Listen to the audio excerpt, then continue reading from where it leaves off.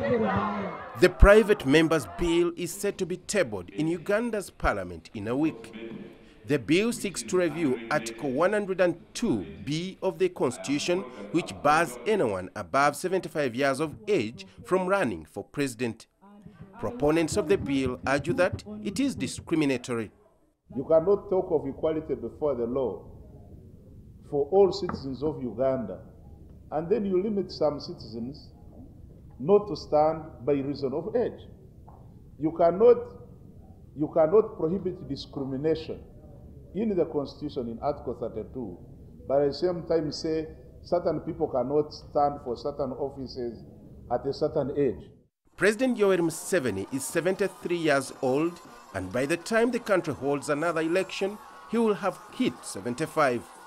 His supporters say that he is still popular with voters. But opposition lawmakers say it's time to move on. He has been in power for 30 years. Whatever he has been able to do, we thank him.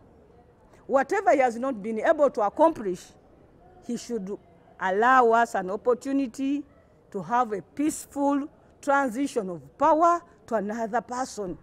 In 2005, Uganda's parliament voted to remove term limits from the constitution by giving Museveni a lifeline to continue as president.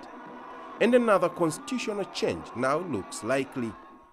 Having got the majority members in parliament, the ruling party is confident that the bill will sail through. Debate will still remain even among opposition members about the particular change that will allow President Yoweri Museveni extend his 30-year rule. Hillary Ayesiga, CGTN, Kampala.